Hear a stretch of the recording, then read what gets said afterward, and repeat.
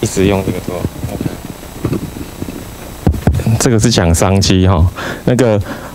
呃，因为我长期关注无人机法规，我从第一场的母法到最后一场可以公听录影的那个执法，我都有去，都把它直播或录影，可以在 YouTube 或 FB 搜寻。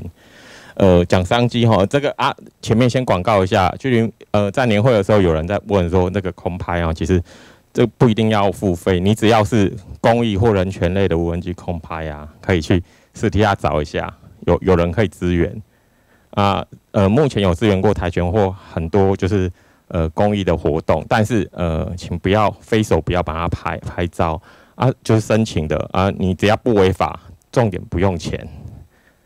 好，只要不要是商业活动，不是政治活动，就是但是入法不算公益，谢谢。啊，要要求只要人权议题不要拍飞手，因为怕有一些人去支援空拍的时候会会就是会影响他工作。好啊，我们刚呃早上一来，有人就提说，现在台湾无人机法规啊，现在已经过了，说呃无人机要考照，现在这个都还没有开始，因为他现在还是在执法修的阶段。呃，现在重点呢不会变的，是确定一定会线上考照啊，呃那个数科啊，数科是现场考，线线上考照啊，现场考数科，自然人两百五十克就要登记，法人呢？全部都要注册啊！注册两年以后要更新法规呢，有定，就是就是活动啊，只要最少的保额是一个人三百万，是只要有人死亡，最低是三百万。如果没有这个达到这个保额，全部都要罚，都要开罚。呃，再来最好笑的是，外国人以后台湾的机制是外国人用 email，台湾人用凭证，这很好笑。这个古早的凭证还在用。啊，美国呢现行的它是用就是用信用卡，不管你的申请机制或者是 A P P 整合，它就是直接在软体画面就有了。啊，再简单说呢，在台湾的就是自然人什么都进了，一到哎应该有十条，放上影片我会再修修改一下，一到十就是基本上你想得到的全部都禁掉了，先进国家。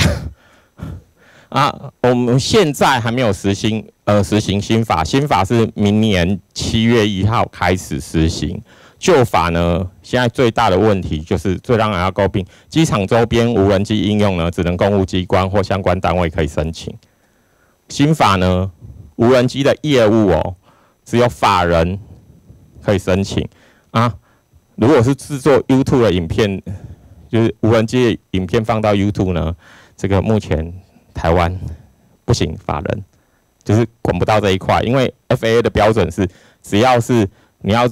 YouTube 或者 YouTube 就是放上去都都要都要啊。这个假议题就好像在玩游戏打打通关了，现在一个无人机法案，那以后有一个无人载具让人家去破关的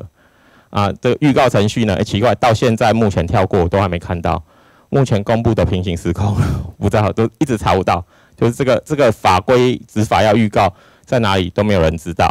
啊！这美国一年前的做法全部自动验证啊！最后呢，就是呃立法规划出错会有一堆商机，就就看你知不知道商机在哪边啊！就例如呢，一个是证照，一个是呃飞行记录啊，还有一个无人机没办法飞，尤其是呃一般的民众跟公务机关的无人机以后会变得起飞都要向对岸申请，谢谢。